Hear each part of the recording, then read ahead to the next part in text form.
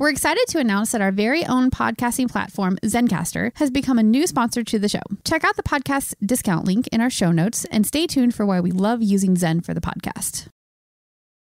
You're listening to the Archaeology Podcast Network. Hello, out there in uh, archaeology podcast land. This is Dr. Alan Garfinkel. I'm the president and founder of the California Rock Art Foundation. And what we do is we identify, evaluate, manage and conserve rock art both in Alta California and in Baja California. We conduct field trips, we have trainings, exercise, we do research, and in every way possible, we try to preserve, protect, and coordinate treasures of Alta and Baja California rock art, of which there are many and diverse.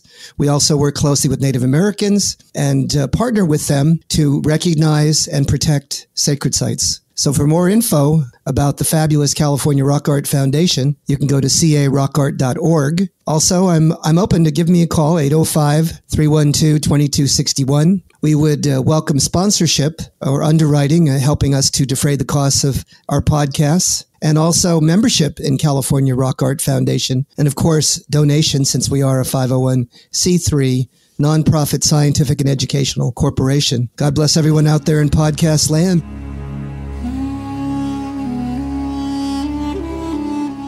You're listening to the Rock Art Podcast. Join us every week for fascinating tales of rock art, adventure, and archaeology. Find our contact info in the show notes and send us your suggestions.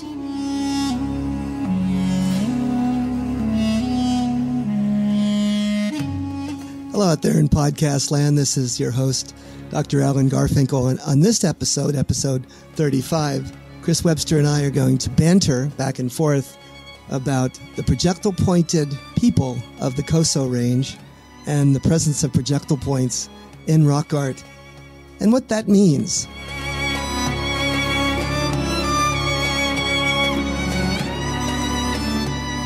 All right. Hey, everybody. Welcome to the Rock Art Podcast. I am your host one more time, which means I'm interviewing Alan about one of the many things he knows about. God bless, God bless you, Chris Webster. That's a, that's the that's the greatest introduction I've ever had. that's right. That's right. That, uh, that's all we need, really. That's really all we need. No, so, that's it. That's it. Yeah. I mean, let's start. Uh, let's start by just you know, kind of catching up here. We're in the middle of April as we're recording this, 2021. Yep. How's it going for you? How's your How's your field season shaping up? No, it's good. It's good. I I have uh, a lot of work. It's it's really surprising. You'd think in the midst of this uh, debacle that we're facing with the coronavirus, that mm-hmm. the work the work would have dried up to some extent or been more highly competitive. But I've never been busier in my life, and there's so much work and at so many different levels that I'm engaged in. I do a lot of uh, CRM work, both for several mm-hmm. different employers and have uh, major contracts, and then uh, my research as well. So, as I've said before, I feel like a one armed paper hanger. Indeed. yeah. It's, uh, it is a little bit crazy. Uh, I think we're making up for lost time last year, right? And people are people are getting back out there and doing what they're doing. It'll be interesting to see how things go because we have new coronavirus variants that are starting to yes. take a foothold, and I've heard of some states and areas rolling back lockdown procedures we'll see how that affects us all in the next couple months. We where are you? Uh, uh, you know, right now, where is Chris Webster in the world right now? so interestingly, anthropologically speaking, we are in Lancaster County in Pennsylvania, which is right about oh, in the word. middle of Pennsylvania. Yeah, we're about uh-huh. um, thirty minutes, I guess, southwest of Reading, and yeah. we are right in the heart of Amish country. That's so it's yeah, yeah, it's really interesting seeing the the mix of people in these small little villages, towns, areas out here. The rolling countryside is absolutely beautiful out here. I could easily live in this area. It's it's just absolutely beautiful out here. The houses, the history, the landscape, everything is just is just it's really beautiful. It's so, exquisite, isn't it? It's really yeah, captivating. It really is. Um, it's been used for a lot of uh, cinematography over the years, and oh, I'm sure. Always, yeah, always, always intriguing.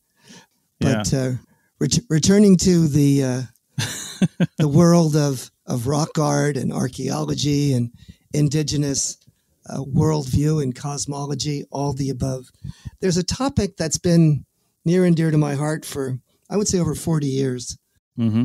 I left archaeology for about a decade or two, and I came back. And the one thing that kept stuck with me about my research area, which was in the Coso Range of Eastern California, was uh, the book written by Campbell Grant and his colleagues back in 1968. They had mm-hmm. a picture and a couple of paragraphs about the projectile points, the arrow points, the dart points that were depicted in the rock art imagery of the Coso Range. Mm. They're rock drawings. And they appeared to me to be so realistic or so well defined that one could at some point argue as to as to what their morphology, their typology, what kind of points were represented. And if we could say mm-hmm. what kind of points they were, we might be able to date the rock art based on the subject matter. I know we've talked about sense? that before, haven't we? Yeah. So yeah. when I got back into this, what I did was I revisited the subject. I went out with uh, one of the grand masters of the Coso range, Ken Pringle, who's now passed away. Mm-hmm. He was one of the one of the original authors of the Rock Art of the Coso Range volume. Uh, senior author was Campbell Grant, and um, he led me on an expedition. So we visited all of those point places where where that uh, Campbell Grant had alluded to the fact that there were these projectile point images on the rocks. And so I photographed them and did a deep dive into their mysteries and wrote an article with Ken Pringle mm-hmm. and published it in the Rock Art Research, the ARARA volume, American Rock Art Research Association. And of course, I got their dating wrong. I, I, I was completely in error in terms of what I said about the age of those points because mm-hmm. I I had thought that they were arrow points and not dart points. And I thought because they were so ubiquitous and found in certain areas, that was their ages. And I also sort of did the dimensions and attributes and morphology of those points. And it all seemed to make perfect sense. Mm-hmm. Well, what I what I had missed is there are doppelgangers. There are identical point forms, one a dart and the other an arrow. So if you look at a rose spring or an Eastgate point, and if you look at an Elko eared or Elko corner notch point, the only difference between them is their size. Because right. all the other dim- dimensions, the basal indentation ratio, the distal shoulder angle, the proximal shoulder angle. Everything else would be the same.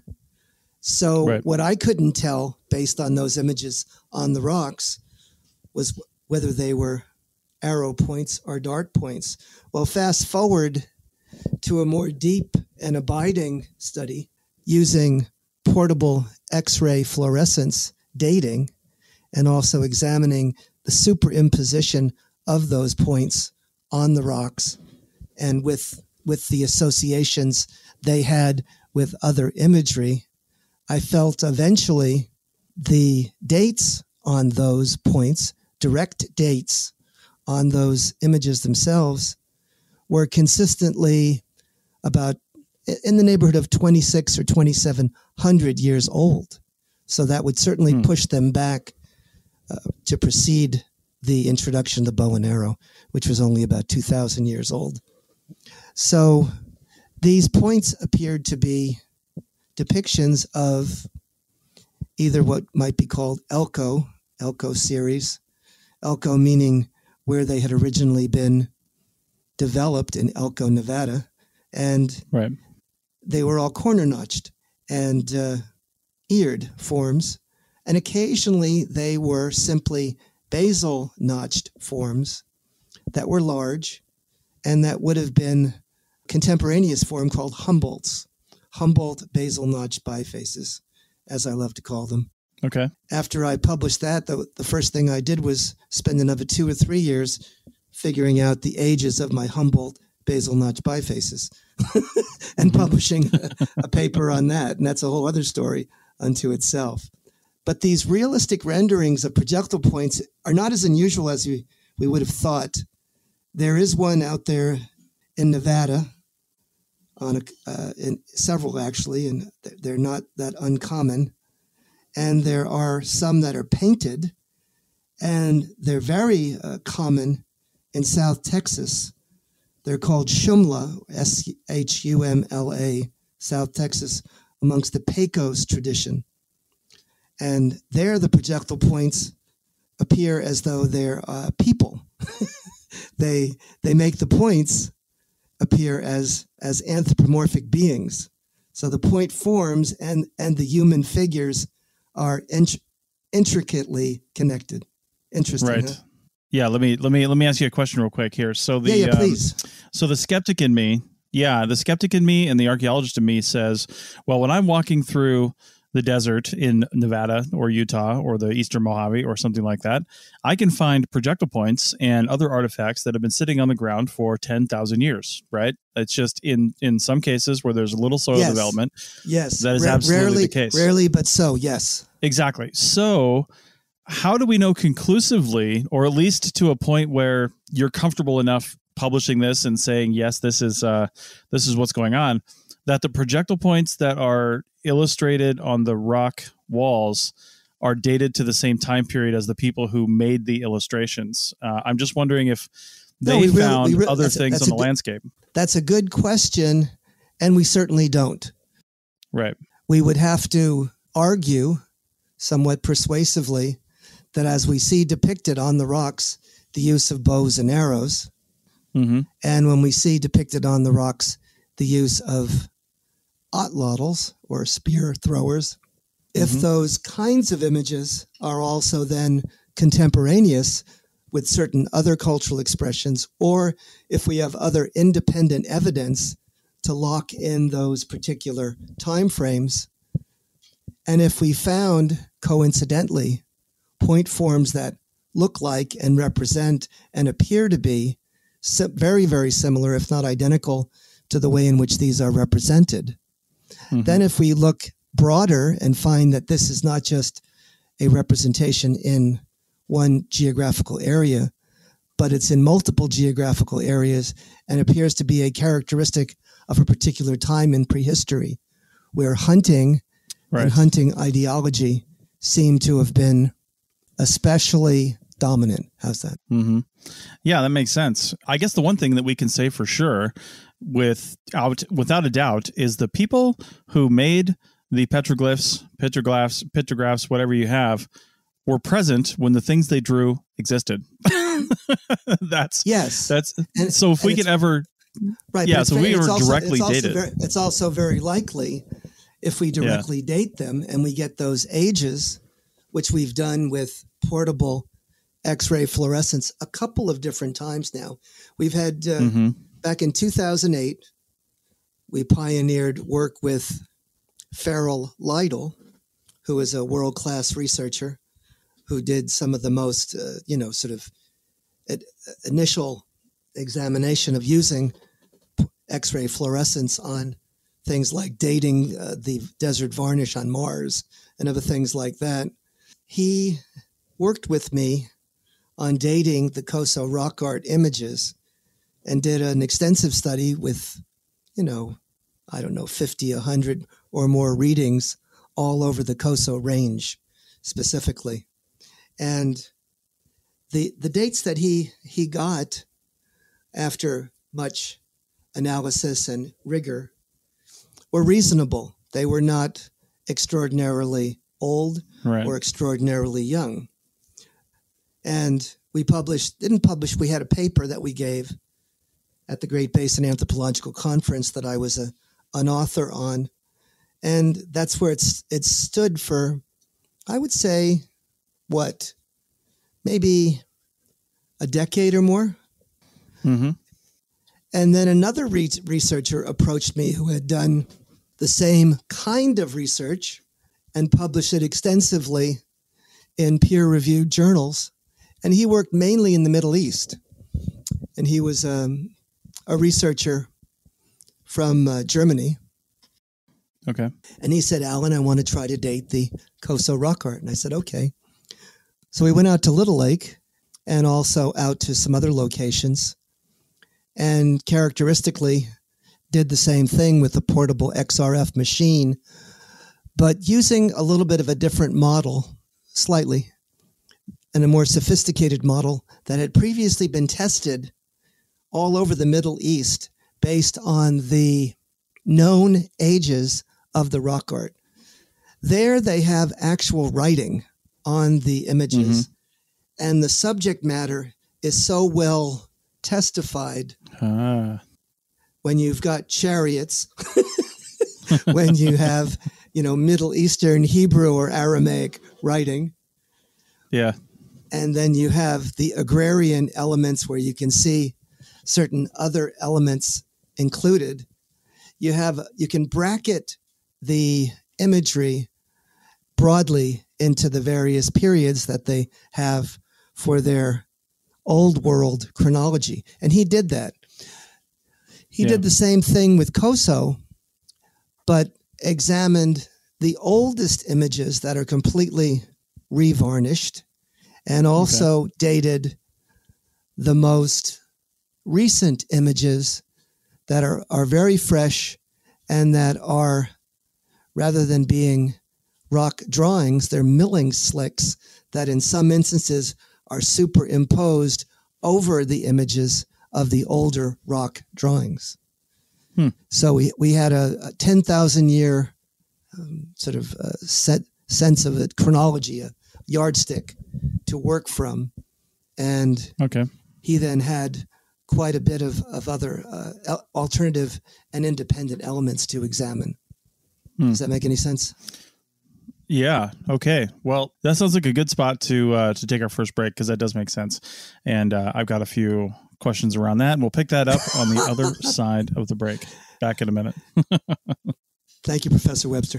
Chris Webster here for the Archaeology Podcast Network. We strive for high quality interviews and content so you can find information on any topic in archaeology from around the world. One way we do that is by recording interviews with our hosts and guests located in many parts of the world all at once. We do that through the use of Zencastr. That's Z E N C A S T R. Zencastr allows us to record high quality audio with no stress on the guest. Just send them a link to click on, and that's it. Zencastr does the rest. They even do automatic transcriptions. Check out the link in the show notes for 30% off your first three months or go to zencastr.com and use the code ROCKART.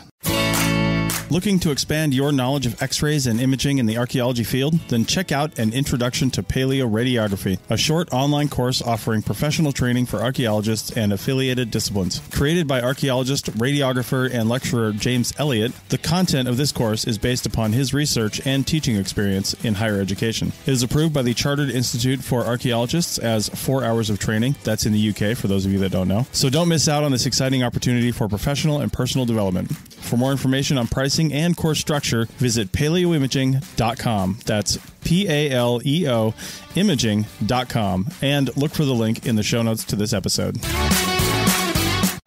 All right, welcome back to episode 35 of the Rock Art podcast. And I'm here talking to Alan about rock drawings of the Coso Range and the, the pointed petroglyphs, the uh, dart points that are depicted throughout the uh, yeah.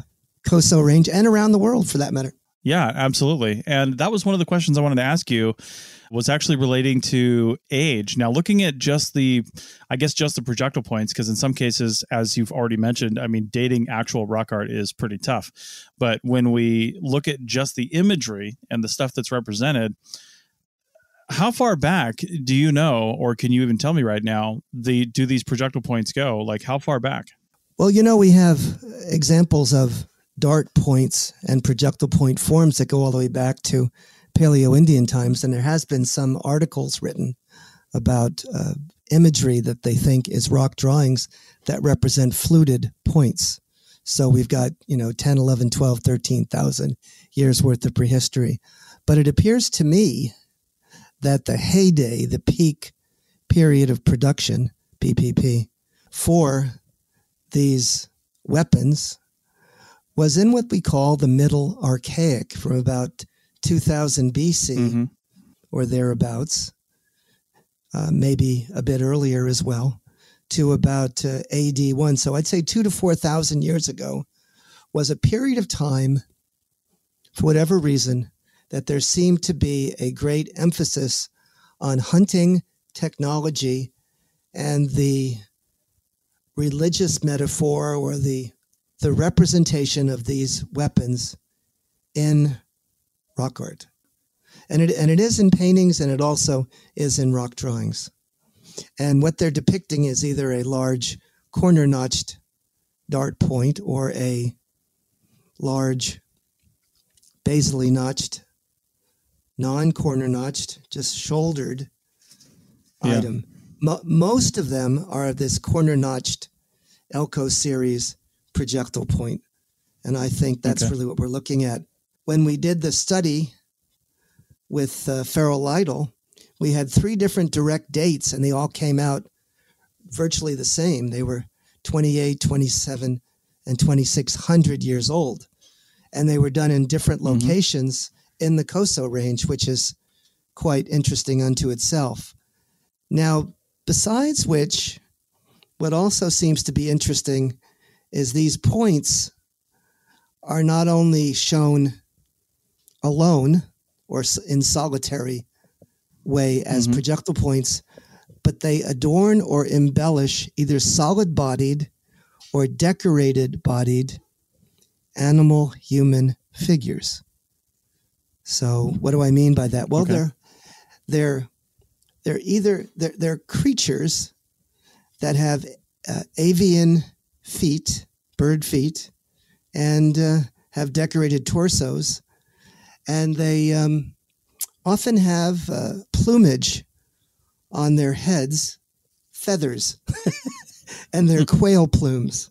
So, okay, this is all quite interesting, right, Alan? So, what does all of this mean? now, the the the odd thing about this that was puzzling to me and and sort of was a a game stopper i said why do they have projectile points and these huge points? These some of the points are are three feet tall. So wow. Yeah. they're really they're really working at it right? Yeah. And so these are these are on the shoulders or on the heads or on the torsos of these figures right? Well, uh, I have a um, PhD student who fortunately obtained her PhD not too long ago.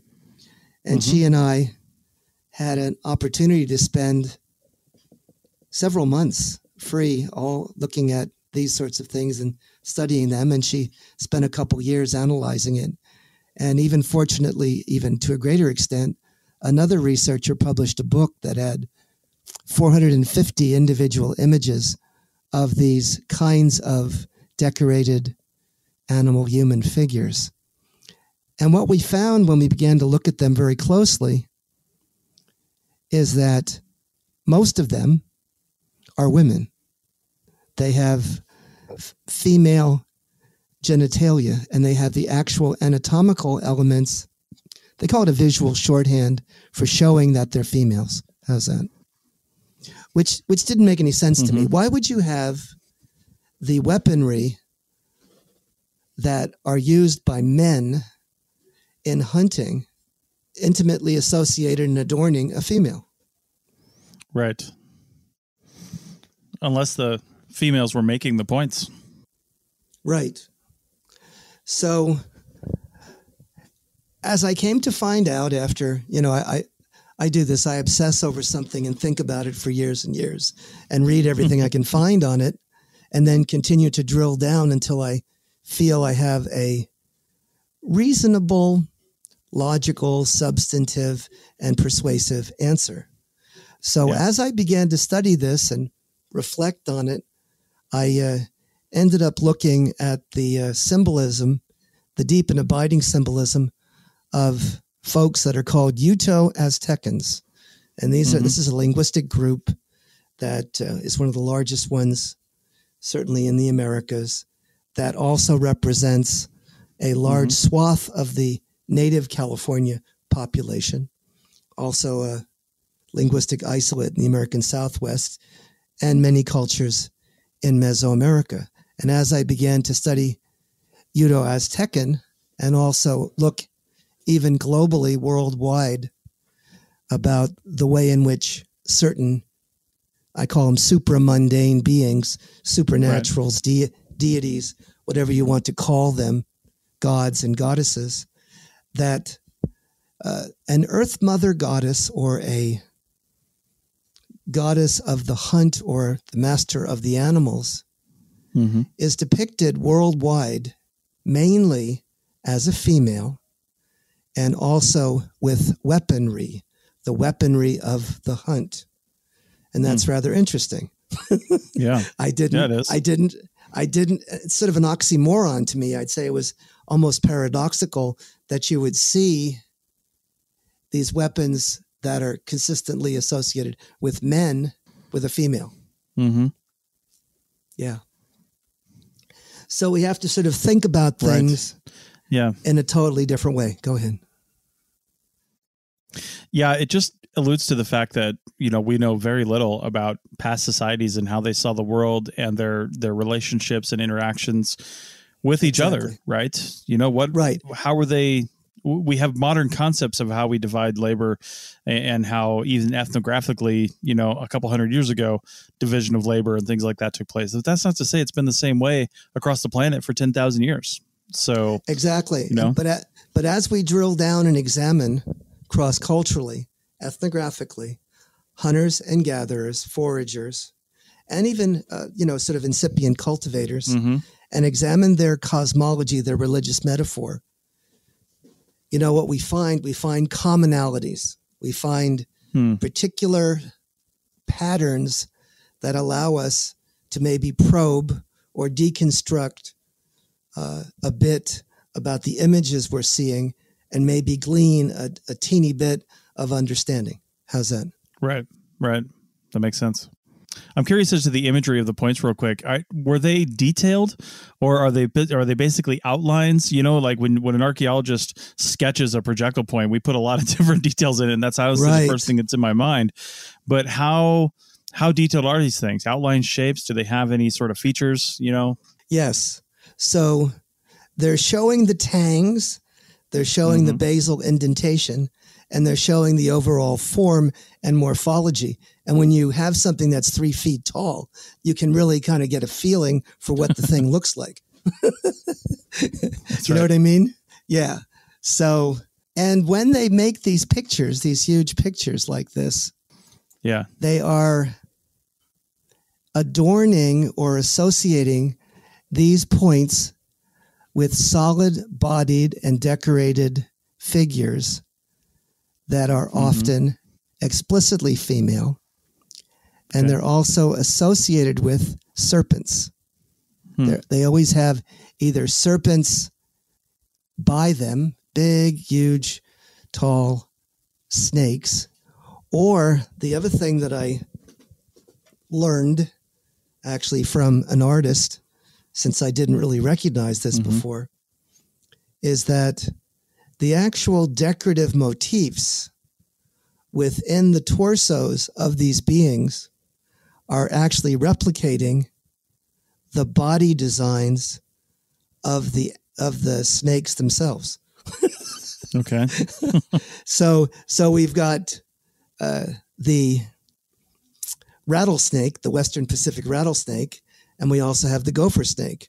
Now, what's interesting is that one of the indigenous groups that lived and, and still lives in this Coso region actually have names for these designs as they put them on baskets. They embellish mm-hmm. their baskets with these designs. And as an element, as an infix, as a morpheme, as a word within that design description is the word for rattlesnake or gopher snake. Okay. So we know that that's what they're saying. They're saying this design is a design of a rattlesnake. This is a design of a gopher snake. Okay. Well, that is super interesting. Let's go ahead and take our final break real quick and come back and wrap this up and see what it all means in the in the grand scheme of things. We will be back with episode 35 in just a moment. You may have heard my pitch for membership. It's a great idea and really helps out. However, you can also support us by picking up a fun t-shirt, sticker, or something from a large selection of items from our TeePublic store. Head over to arcpodnet.com slash shop for a link. That's arcpodnet.com slash shop to pick up some fun swag and support the show.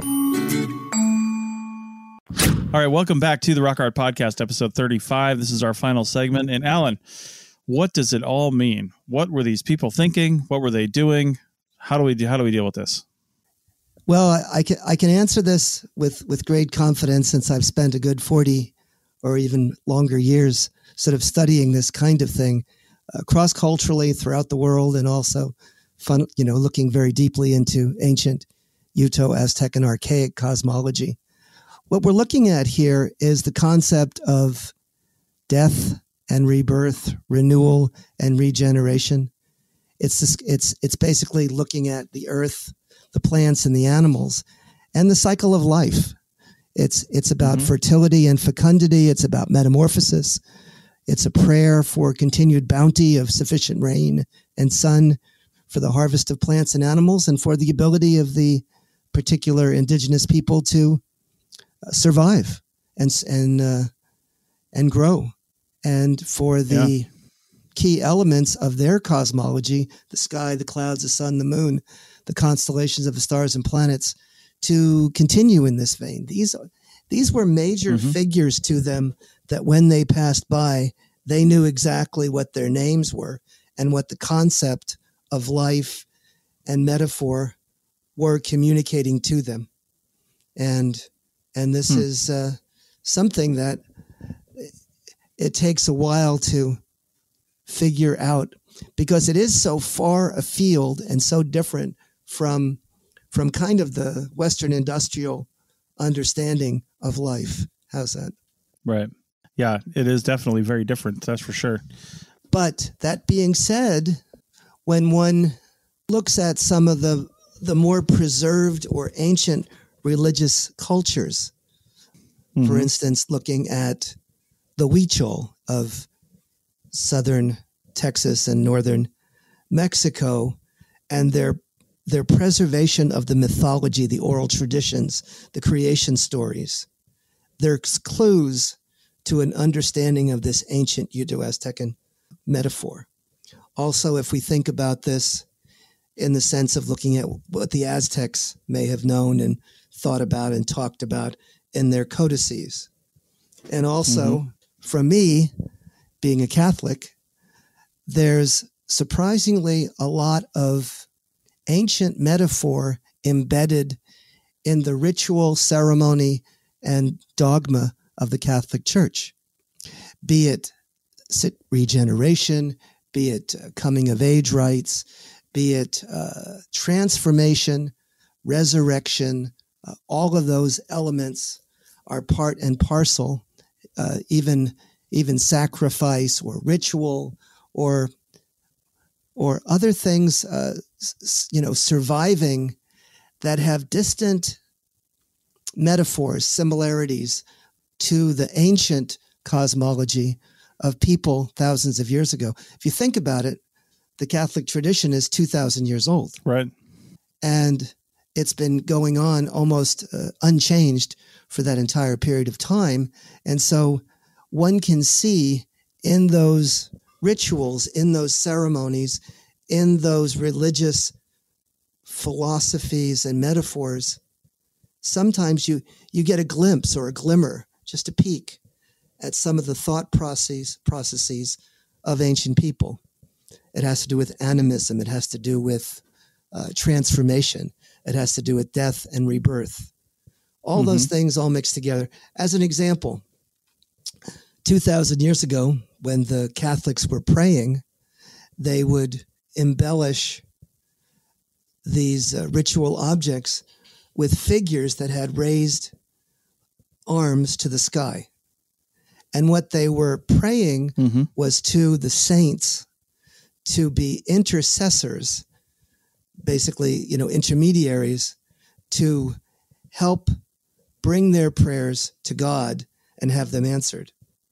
Does that seem like anything similar to what we're talking about here? Absolutely.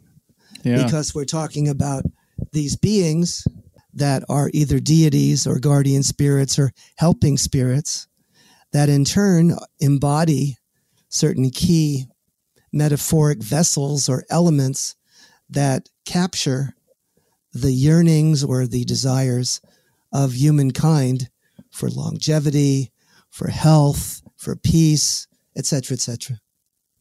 Does any of this make any sense? It does, you know, and it goes to show you that uh, we have to study many different fields and disciplines in order to to understand certain things. I'm not Catholic by any means. Uh, I'm not even really all that religious, to be honest. And I realized though that just like a place name study, we use place name studies a lot when we're looking at either old maps before we changed them to, you know, Western names, people who would draw maps back 100, 150, 200 years ago in the United States would put on the names of places that they were told from the Native Americans and, and places around there. And we can learn a lot from those old names. Well, similarly, we can take a look at a religion. Like you said, Catholicism is, you know, 2000 years old realistically and has changed little well we can learn a lot about people 2000 years ago and through time and conversely using native american religion and studying current religious practices and spiritual practices can know a lot about the people you know 500 1000 maybe even 5000 years ago exactly. or more with these religions and we can and we just have to use all the pieces of data that we have you know uh, at our disposal to help understand these these things we don't currently understand. So I really like that. Yeah, yeah, and we have to open our minds. We've got to be open yeah. to other possibilities, and we have to learn to uh, deconstruct the visual shorthand of rock art that in some cases, yeah. not always, but in some cases, right. may memorialize creation stories or mm-hmm. key signatures, hallmarks of their religion. For instance, what does a rattlesnake mean? What does a, a, a thunderbird mean? What does a butterfly mean? So mm-hmm. all of these are, you know, we talk about memes today, all these memes. Right. What are memes? You're the, you're Mr. Technology. What are memes? Well, memes in today's uh, today's landscape are images or words or things that represent some sort of cultural phenomenon taking place today, and we pass these around and we laugh at them. That's basically what memes are today. But you know, memes anthropologically are ideas, right? Cultural ideas that are transmitted between people and cultures and uh, and other groups and they're and they're packages of ideas that immediately can be communicated. You're seeing a symbol yeah. but you immediately know what the person sending that symbol is attempting to communicate. That's right. And there's no words on it. It's it's a picture. It's a it's a funny picture. It's a funny set of images. But immediately it it emotes. How's that? It, it causes mm-hmm. one to have an emotional association with that image. Right. Rock art is much the same in being a visual medium that is meant to, in some cases, to emote, create either, what would you call it? Um, create a, a, sense of transcendence. How's that? A sense mm-hmm. of sort of a connection with a higher power or fear, joy, happiness, love, uh, humor, all those things mm-hmm. all all wrapped up together. Right. Yeah. There was okay. a study, a scientific study done where they hired a bunch of actors and actresses who replicated the postures of certain key three-dimensional 30, 40, 50,000 year old images like the um, the lion man and some of these uh, Venus figurines. Mm-hmm. And then they they asked the actors and actresses to hold those postures and clear their minds and then tell them what their feelings were. And the feelings were either joy or sorrow or strength or love or what have you. And so, even just by looking at a figure who has a certain set of gestures or postures, sometimes we can elicit the potential meaning of those forms of that morphology. Right. Okay. Well, uh, this has certainly been, I think, uh, I think a great introduction to this topic, and I'm sure there is much more that can be learned from, again, studying these various disciplines and and bringing it all back to rock art. One question that is a little bit probably off base, yeah. but I've been thinking about it since we started this segment mm-hmm. was. Mm-hmm. I guess this would vary regionally, of course, and and I'm just speaking of let's just say North America or the United States because that's where we're at right now. But when do we think, or what do we think caused Native peoples to stop making rock art. I've heard I've heard of people going out and you know re- regaining their roots and and starting to do some of this stuff again. Although that gets problematic because you want to go out to places that are, you know, that are well known that you that your ancestors went to, but now they're protected and you know there's issues around that. But at some point, it seems like most native groups stopped making new rock art, or at least I don't know if they stopped visiting those sites, but but there seems to be an endpoint. Do we have any ideas around that? Well, I wrote an article and published it. Okay. Of course you did. And I think I called it, I don't know, resource intensification or whatever. There was something going on there. But mm-hmm. as a reminder of this, and I think I've mentioned this before on some of the other episodes that we had, that there seems to be an elicitation and a manifestation of people's emotions when they're going through problematic periods. Yeah. It seems as though they they they go back to church. They go back like there's no there's no uh, atheists in on the on the pipeline, right? When you're in the battle zone, in right. the trenches, right? Because then they're then they bend down and pray and hoping to get their butt saved. The same thing happened in 9/11 right? Mm-hmm. What what happened in 9/11? Everyone runs to church, but then they all gather up flags, and they ran out of flags because these were symbolic of our nation and our our signature hallmark, uh, you know, meme, if it were. Well, the same thing happened with Native people when they went through hell in the 1870s through the 1890s, mm-hmm. where their populations were decimated, right, from the exotic disease, mm-hmm. and their subsistence basis was destroyed because of the mining that was going on and the unrelenting hunting. What happened? This is in historic times, right? Mind you. Right. They went back and started doing rock art in a big way. mm. And they Makes were pa- and they were painting multicolored, elaborate imagery representing their worldview and their cosmology and how they had hoped the world would be recreated in a way that would bless them. It was called the ghost dance. Right. And during this ghost dance period, they prayed and hoped that there would be an ending to the occupation of the Euro Americans, mm-hmm. that they that a new world would ensue and overtake and replace the world of the Euro Americans, and it would bring back the dead, it would bring back the natural world and the and the animals and the plants that were being destroyed and the rivers and the landscape and it would go back to a better world well that was painted on the rocks by native people in the historic era. huh. Yeah. Yeah. All right. All right. Yeah, and we've we've definitely talked about ghost dance, and I've heard you lecture about ghost dance as well. And we need to probably have an episode that that really tackles that. I don't know if we've had a specific episode I don't where we've so. actually talked about that. Yeah, I just remember you talking about it because I've heard you speak about it before, and it's a fascinating topic. So um, that maybe that'll be on a on a future episode where we do another one like this. So to wrap up this one, any final thoughts uh, on this topic before we before we sign off? I think it, it's good to see with other eyes. I, one can only see what one expects to see, and so I think um, we need to understand hmm. that we, we we have to dismantle our structure of knowing, and yeah.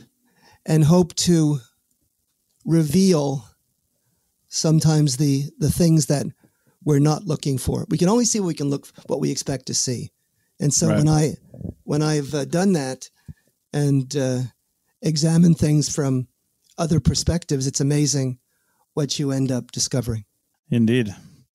Well, on that note, then we will end this episode so you can go discover more. oh, Chris. you like that? well, what a blessing you are. God bless you. Indeed. All right. Well, thanks a lot, Alan. Thanks everybody for listening. And uh, we will be back next time with another great episode. In the meantime, this is episode 35. If you're just finding us, go check out the back catalog. We've got 34 other episodes that uh, just, if you've got a passion for rock art, go listen to them because we cover lots of different topics on those shows related all around to rock art. So check that out. And if you want to support us, head over to arcpodnet.com forward slash members. And of course, check the links in the show notes for the California Rock Art Foundation, where you can support them and their efforts as well. Thanks a lot, Alan, and thanks everybody for listening. See you next week.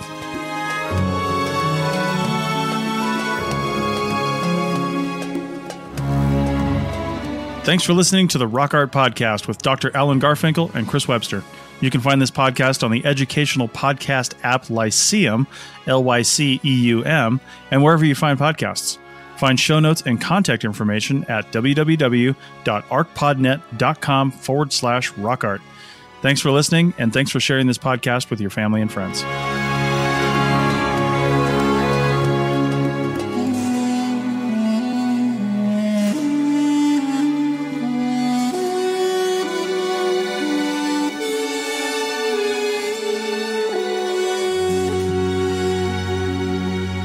This episode was produced by Chris Webster from his RV Traveling America, Tristan Boyle in Scotland, and the Archaeology Podcast Network, and was edited by Chris Webster. This has been a presentation of the Archaeology Podcast Network. Visit us on the web for show notes and other podcasts at www.arcpodnet.com. Contact us at chris at archaeologypodcastnetwork.com. Thanks again for listening to this episode and for supporting the Archaeology Podcast Network. If you want these shows to keep going, consider becoming a member for just $7.99 US dollars a month.